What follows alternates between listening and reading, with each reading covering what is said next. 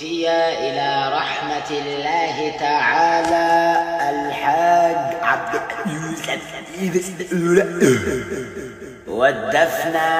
بعد صلاة العشاء في مسجد علي